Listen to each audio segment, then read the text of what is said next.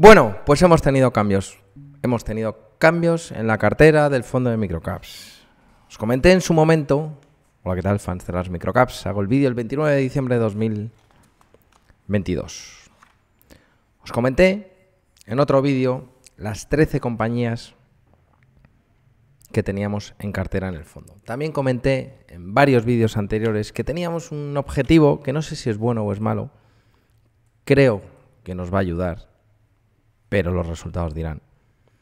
Teníamos un objetivo de acabar el año con 12 compañías. 12 compañías en cartera. Aquí ya entra el tema filosófico de cuánta diversificación es buena tener. 12 compañías, 15, 20, 40.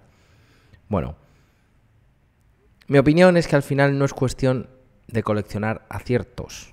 Decir, bueno, es que he acertado en 15 compañías. Bueno, has podido fallar en otras 15. Bueno, es que he acertado de 17 compañías en las que estoy invertido, he acertado en 12 y solo he fallado en 5. Si las 5 que en las que te has equivocado, la rentabilidad es muy negativa, a lo mejor no te compensan el doble de aciertos para tener una rentabilidad positiva en el fondo, en tu cartera, etcétera.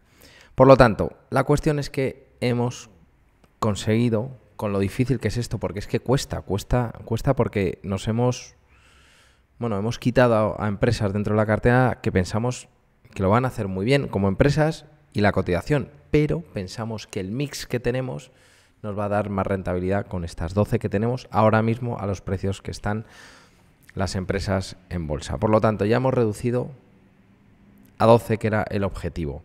Os voy a poner aquí el último vídeo que hice sobre, en las, sobre la cartera, sobre las empresas en las que estamos invertidos, que son las 13 de arriba, y abajo son otras empresas que tenemos en el radar donde podemos invertir y alguna más, pero básicamente esas son todas las compañías invertidas y radar las, las que más nos interesan. En total son 19 compañías, 13 invertidas, 6 en el radar y alguna más, pero como digo, esas son las principales empresas, por lo menos las del radar, en las que estamos interesados y que probablemente puedan entrar en algún momento en la cartera. Pues ahora, en vez de ser 13 y 6, son 12 y 7 una de las 13 de las de arriba de Guillemot, Gigas, Altia, Clever, NBI, Mondo, Jadanet, Making Science, Water Intelligence, Clínica Baviera y Certis Endurance y Netex, una de ellas, pasa al radar. Como digo, pasa al radar no quiere decir que no pensemos que lo vayan a hacer bien, pero pasan al radar. Han pasado en su momento Llorente y Cuenca, Soluciones 480, ahora otra. Me preguntaréis,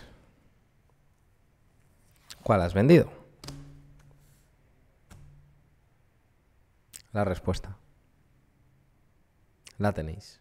Los superfans de las microcaps. Ahora mismo no tenéis los superfans de las microcaps. Ahí digo, ¿cuál es la empresa que vendemos?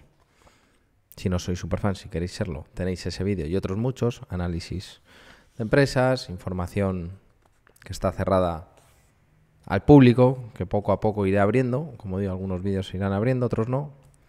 Pero la empresa que hemos vendido, ya os lo diré un poquito más adelante, pero ahora mismo, si pincháis aquí, pues podréis conocer cuál hemos vendido y pasa al radar.